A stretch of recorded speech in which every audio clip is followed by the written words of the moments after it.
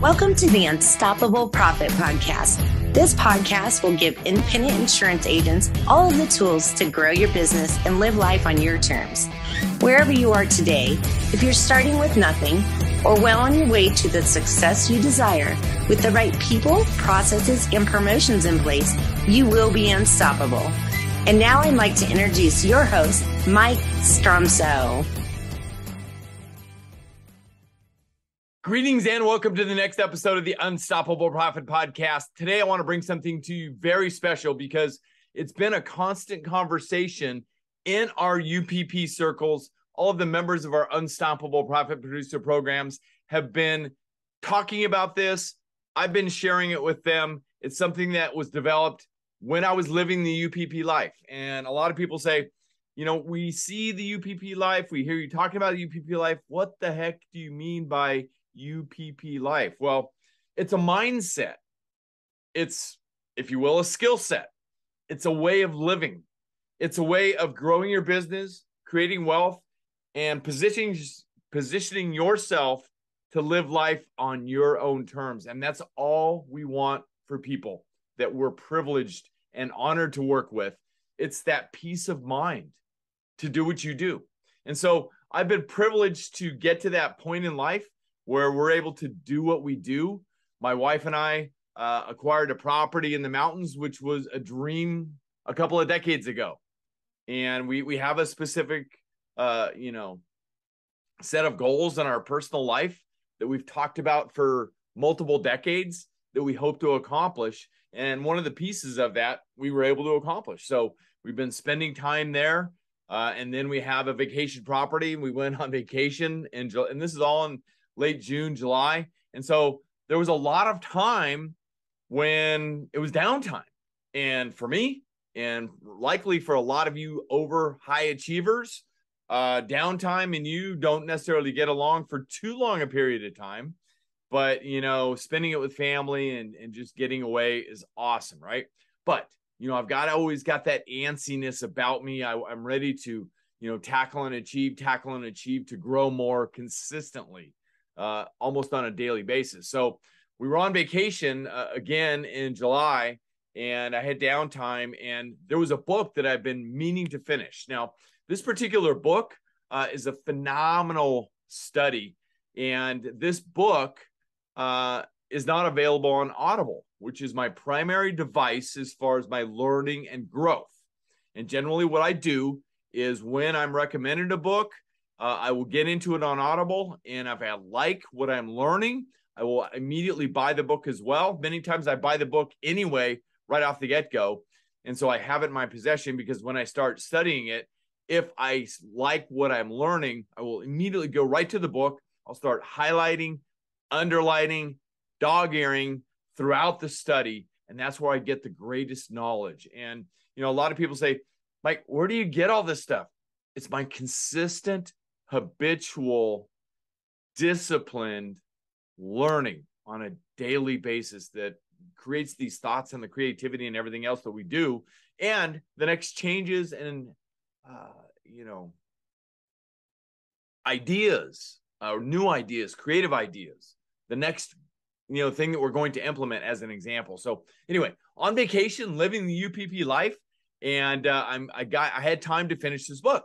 So I finished this book but while I was reading this book, I came across a phenomenon that, you know, I've heard about the thought process before, but this really cemented an idea in my mind. And I thought, aha, it's the next great evolution of what I'm going to do from the leadership chair for our team, for our team, our current team, to make sure that we're always moving in the same direction because we have goals, we have a vision plan that is documented that we talk about in our team meetings and our huddles and everything else.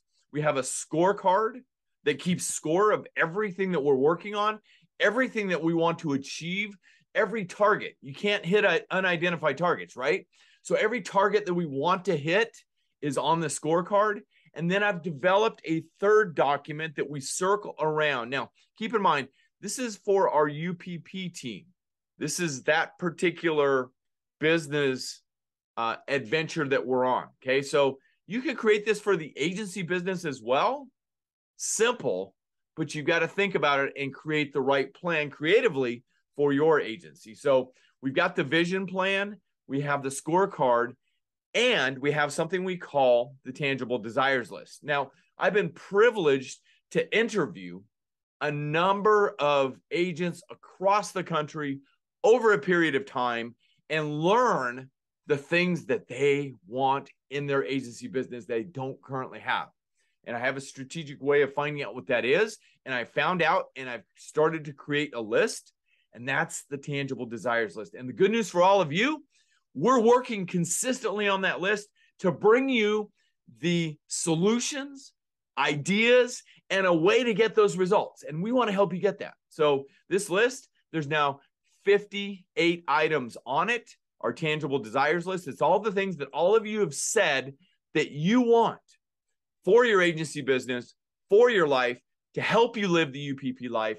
And we are going to help you get it. So, super excited about that. So, that information uh, is part of our internal working at UPP. Uh, and we talk about it all the time. So, I'm reading this book and I, I'm going through it, and I thought, aha, this is the next great leadership opportunity that I've got uh, in the leadership chair at UPP to share with my team, to encourage my team, to lead my team. And I said, I'm going to immediately implement that when I get back. So, what I'm going to do, I'm going to read you the section out of the book. By the way, the book, if you're dying to know what it is, I'm not going to withhold this from you. It's called They Can't Eat You, and it's by Marc Sparks. Marc Sparks is a serial entrepreneur outside of our industry. And by the way, there is tons tons of talent, creativity, super high achieving, super successful people outside of our industry.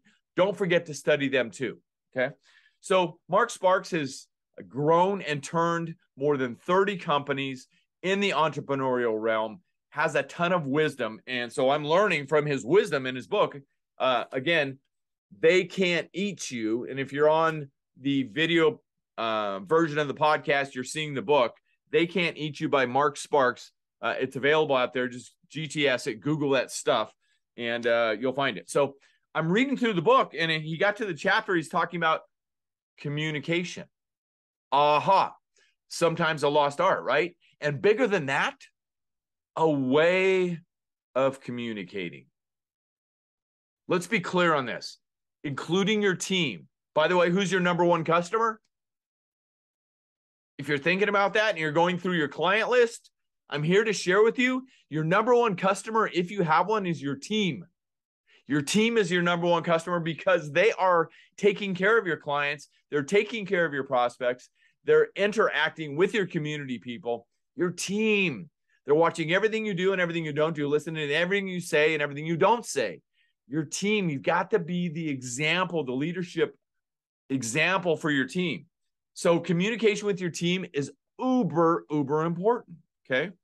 So I'm going to read verbatim from this section of the book, sec- chapter 27. Over communicating to your team is crucial. It doesn't matter if you have one person or 100 people on your team. I've been a serial entrepreneur all my life, and it still amazes me that no matter how much over communicating I do, there's always someone on my team who doesn't get the information I'm sharing. As a leader in your organization, your number one goal is to make sure that everyone is rowing in the same direction. Aha. That was my turning point of my reading in this particular section. And I said, you know what?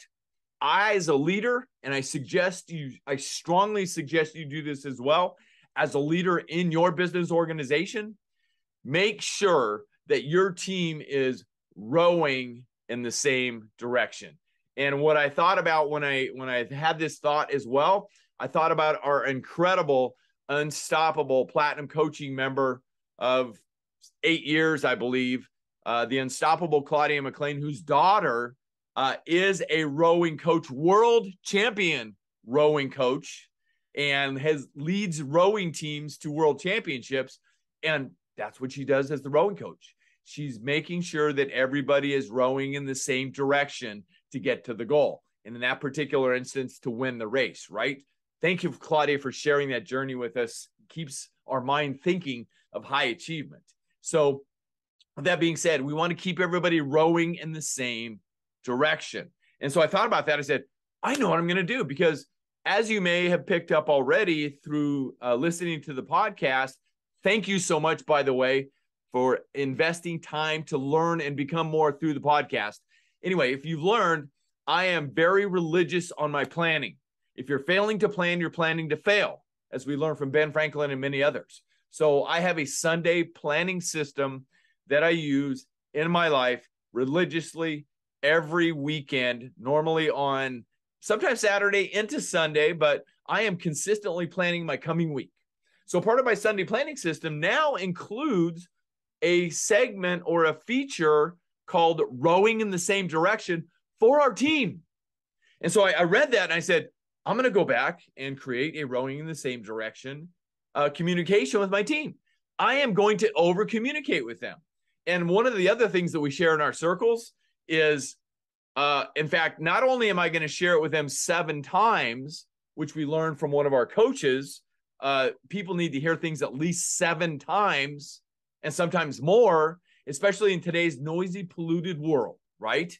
So people need to hear things at least seven times or more than that. We call it welching them. And we learned that from the one, the only Jack Welch of GE. Uh, I picked it up originally from his book, Winning. And Jack Welch, who I've also studied, I've studied a lot of his audio trainings, et cetera, et cetera. Jack Welch says, and he's got this cranky little voice that I was listening to the audio training and I'll never forget it. He says, if I've got a message that my team needs to hear, that it's critically important to our success and us achieving our goals, I'm going to send that message to them so many times, they're going to want to barf. In his opinion, that's how many times he sent the message out. That's a prime other example of over communicating to your team. So, what I started was a series, and this has been going on for a couple of months now. Part of my Sunday planning session, I send that over communication email to our team during my Sunday planning session every single week, and they get it. It's there for them to begin their week as well. I send a message based on what's going on through our team meetings, through our huddles, and everything else that's going on in our UPP world and serving agents across North America. Uh, I position things from a leadership standpoint. This is what we need to be thinking about. I send the most recent version of our vision plan and our scorecard and our tangible desires list. And I consistently update this stuff to lead them, to position them to do what they need to do to lead our organization up to the next levels, which is where we're going. We're privileged and honored. So, the title, the subject of that communication is Rowing in the Same Direction and I try to do something unique every week to make it a little bit different and fun and engaging the whole nine yards. But something happened, and part of uh, living the UPP life is to be able to out to be able to be out enjoying family and so forth and so on. So my wife and I uh, were down uh, traveling uh, to watch our grandson, who is a sophomore in high school and a top-notch uh, football player so we traveled to go watch one of his games, and we were down. We stayed at a hotel overnight, and uh, we're in this hotel, and I'm observing everything that goes on. By the way, that should be part of your entrepreneurial journey. You should be observing and learning from everything going on around you all of the time, every day, in every way. Hey, they're leaving clues out there, sometimes not successful, but use that as a storytelling line in leading your team as hey, I was out recently in a business and I observed this. I don't want that to happen to our team. I want to make sure that we're always over under under promising and over delivering as a mindset. Got it? I hope you picked that up. Find the things that go on in your own life and tell a story around it. You're pointing to an outside third party thing.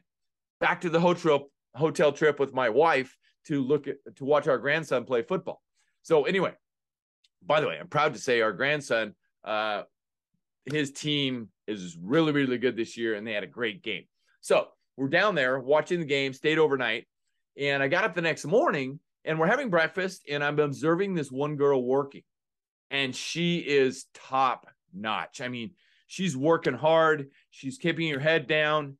Every little detail, she's taking care of it in the breakfast experience. And I was watching her. And when I see people like that, I watch what they do. And I'm watching her, and you know, I would want to interview her and potentially hire her in a heartbeat.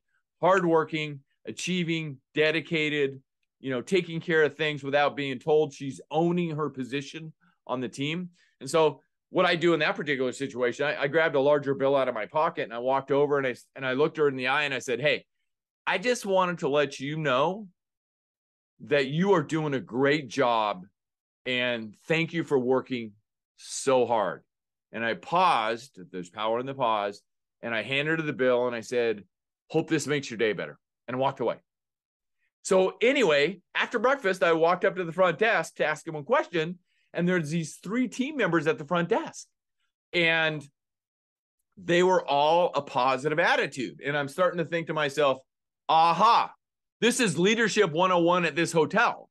And so I started having a conversation with them and I was telling them how awesome their teammate was and how awesome the entire experience at the hotel has been.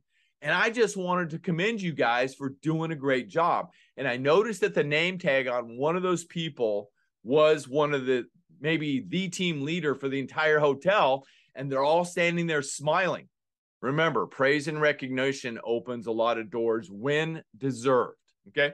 And so they started saying, That's awesome. Thank you so much for sharing that. And I was able to tell them, I said, You guys are obviously rowing in the same direction because I had this mindset in my mind, right? And they said, Yeah. And they all started simultaneously, all three of them started rowing a boat. And I'm going, All right, this is meant to be. And so, what I do in that particular position is I am always ready for a picture, for a video, and lead them in that. So, is rowing in the same direction a good idea in the highest uh, achievement realms in any industry? 100%. So, I'm going to show you that video right now uh, of them rowing in the same direction. They were engaged, they were fired up, they are creating phenomenal client experience, not customer service, client experience. Hear me clear on that one they were are creating phenomenal client experiences in their hotel and they are all rowing in the same direction and they were on the spot ready to go. No hesitation. Immediately yes we're rowing in the same direction. Check this out. This is awesome. Row row row your boat gently down the stream. Merry merry merry merry let us love wasn't that awesome I have to tell you, that was one of the top experiences uh, that I've had out there in the business world recently. Just, you know, there are people out there, there's lots of good people that are working very, very hard in the entrepreneurial realm. So look for those people, look for those experiences, learn from them. And most importantly, make sure that your team is always rowing in the same direction and lead them. Lead them with your vision and I hope that your vision plan is documented. That's something that we are working on very hard right now in our Unstoppable Profit Producer Program circles. All of our coaching members have been exposed to the vision planning and the documentation of the vision plan. They know what the scorecards are. So they've got the vision plan documented, they've got the scorecards and everything else that they need to lead their teams in the right direction direction and to make sure everybody is rowing in the same direction. It's a phenomenal, incredible opportunity, and we are pumped and excited for the future. I hope this has helped you today. Is your team rowing in the same direction? Share with us in the comments below whether they are or if they're not, what can we do to help you to help your team be rowing in the same direction?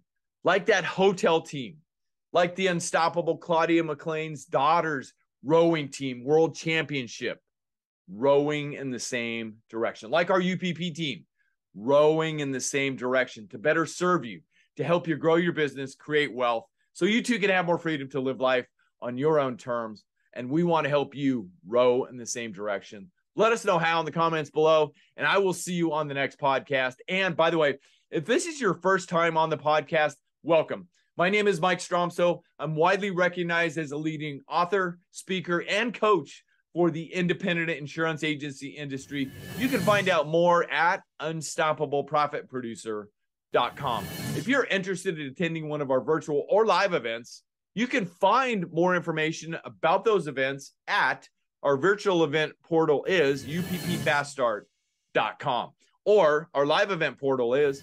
beunstoppablebootcamp.com. Both events are designed with some of our best money making strategies, developed over 35 years of research in your industry. 100% of my time as a proud independent insurance agent in the trenches.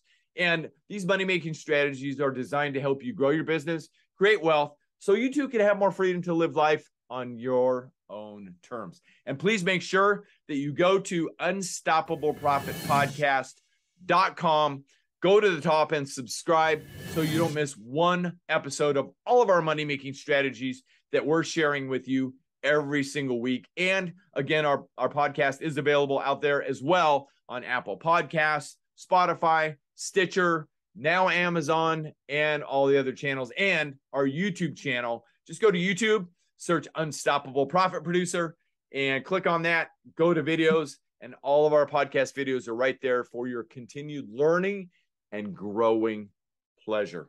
Thank you for joining us. We hope this has helped you. We hope you are moving to or are living the UPP life because that's all we want for you.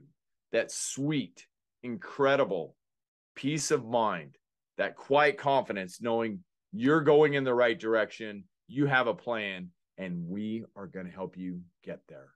Until next time, make a difference, be unstoppable, and leave no regrets. Can't get enough of the Unstoppable Profit podcast? Come join our next live three day boot camp in warm, beautiful San Diego. Invest in your ticket today at beunstoppablebootcamp.com. That's beunstoppablebootcamp.com.